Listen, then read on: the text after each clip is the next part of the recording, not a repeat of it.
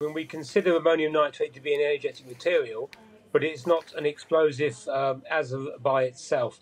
However, under certain conditions, it can be caused to detonate. Okay, so what are those conditions that can cause it to detonate, particularly if we look at what happened in Beirut? What do you think might have occurred?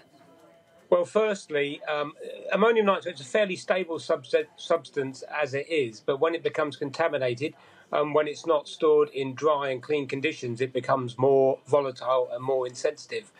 Also, when it's subjected to heat, and critically, when it's subjected to heat and it's confined in large amounts, um, what happens? It starts to decompose, and it decomposes, uh, generating its own heat.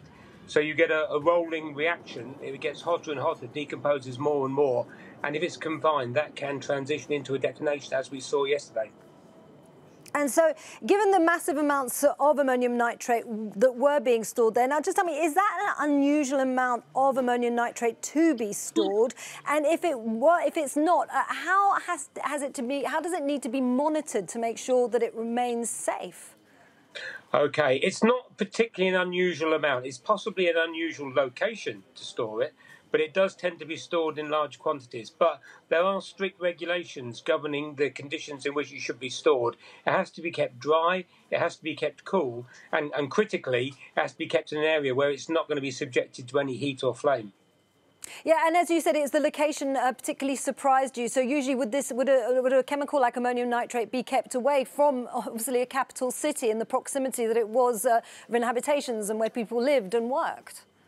Absolutely. I mean, sadly, uh, explosions, explosions involving ammonium nitrate are not uncommon. There have been over the years a large number of them with large loss of life. So we know this, and therefore it's generally stored in large quantities somewhere where, it, if the worst does happen, it's not going to cause these sort of catastrophic effects. Okay, so put this into context for us because you're talking about the fact that other explosions have happened with ammonium nitrate. Uh, in what conditions have they occurred and have they been in any way on the same scale as what we've seen in Beirut? Um, they have been on the same scale. I mean, in 2015, there was the explosion in the port in uh, Tianjin in China, um, which caused over 100 deaths, and certainly ammonium nitrate, along with other chemicals, was implicated in that. But the common um, thread running through this whole thing is poor storage. Um, uh, if somebody kept there for a long time, it's not properly monitored, it's not kept under proper conditions, then eventually there's a, there's a really strong risk that this sort of event's going to happen.